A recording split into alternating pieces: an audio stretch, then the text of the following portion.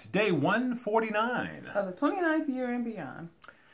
And um, I had an interesting occurrence. Um, uh, while working, I came across an old Bic pen, a little Bic ballpoint pen. Wow.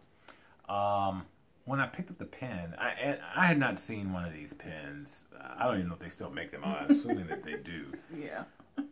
But um, when I picked up the pen, I just had like this wave hit me of emotion, and I was like, "What in the world is going on?" And in that moment, um, what I realized is that I remember using pens like this when I was in elementary school.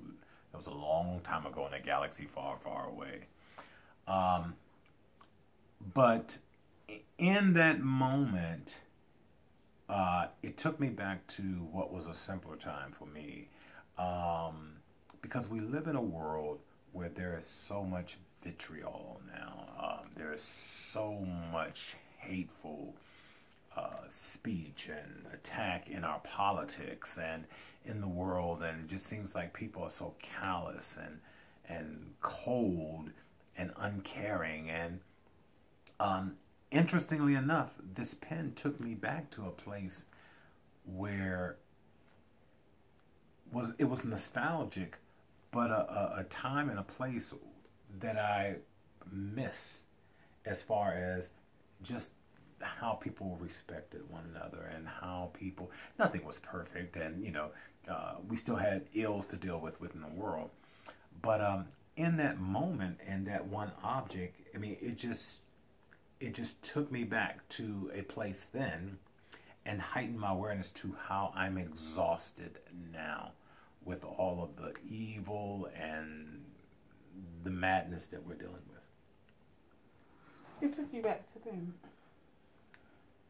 You know, it took you back to a time when people cared about each other and um, people courted one another. Um, you cared what happened to someone in someone's day, and there wasn't so much um, uh, in your face. And I think that's one of the challenges um, that everything faces, but especially relationships too, because it's so much coming at you at one time.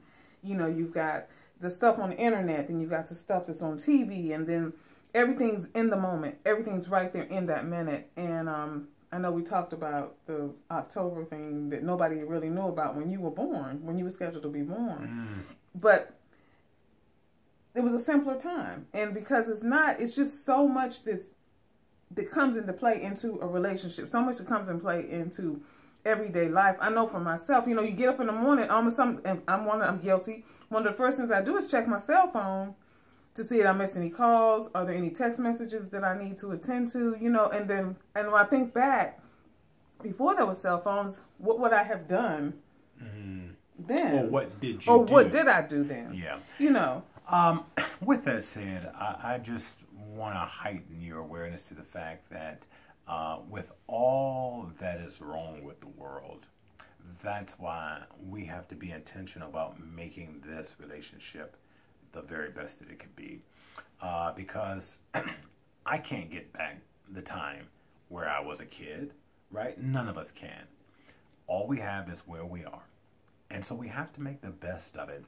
And so, with that said, uh, what this also did is heighten my awareness to the fact of why it is so important for Gail and I to share our love and to uh, focus on what really matters, which are our relationships, our relationship with God, and our relationship with family and friends.